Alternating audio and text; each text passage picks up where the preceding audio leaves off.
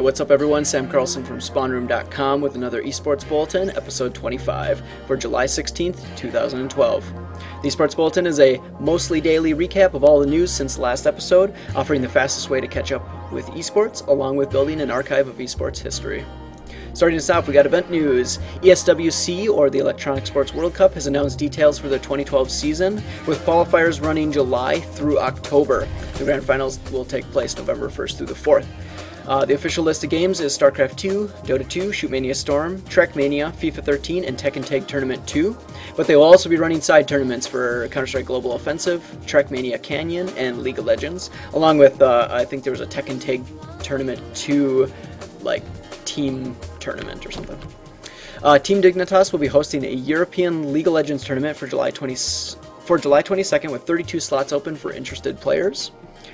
Uh, Optic Gaming will be flying their American Modern Warfare 3 team to the EGL 7 tournament in Europe, happening August 4th through the 5th. Um, apparently, the prize pool is good enough to uh, drag them all the way over there.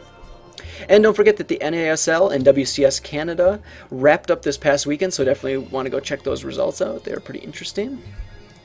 In player and team news, StarCraft 2 player John BabyKnight Anderson uh, has signed with FXOpen Europe, leaving Absolute Legends behind. Uh, this is shortly after that, both Naama and DeathAngel announced that they had left as well, which means Absolute Legends doesn't have a StarCraft 2 roster anymore. I don't think they have any players left, so. And this all happened in a very short period of time, so interesting. In Counter-Strike Source, Nikolai dev1ce Reedtz of Copenhagen Wolves was replaced by Stefan 3K2 Markusen after some team-related issues.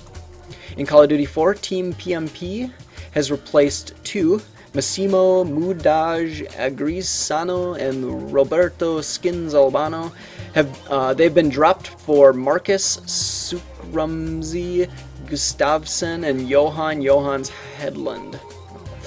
Uh, Team Acer StarCraft 2 division announced that Christoph Mondragon Semke has not renewed his contract due to educational reasons. Team Dynamic has picked up James Atlanta Moreland after he recently left MTWNA, which was mentioned in episode 19, and he has replaced former player Joshua NintendudeX Atkins. I don't, and apparently it wasn't a mutual parting, so. Yesterday I mentioned that Team Legion had acquired some new players. Um, well, they're going to keep the ball rolling and have picked up the picked up Korean player Shuttle, who previously played for New Star Hosio. And in miscellaneous news, according to SC2earnings.com, total StarCraft 2 earnings to date has broken $5 million. Uh, you can view the breakdown of race earnings and more at ESFIworld.com. They had a nice write up there. Complexity has announced that the Gamma Gamer House is now open for business. Uh, looks like six players will be moving in immediately.